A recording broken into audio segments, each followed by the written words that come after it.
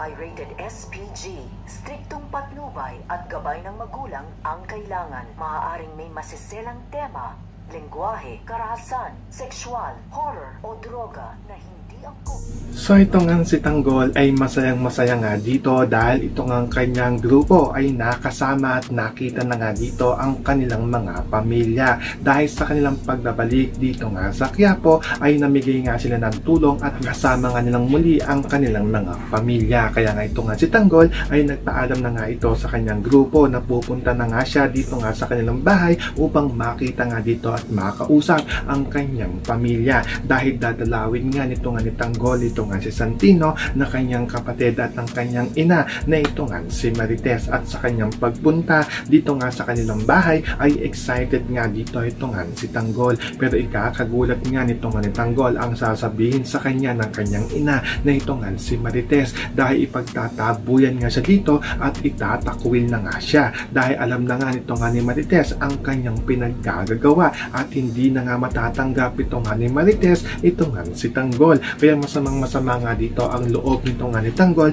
nung umalis nga ito dito nga sa kanilang bahay dahil tinatakwil na nga siya dito at pilit nga siyang pinagtatabuyan.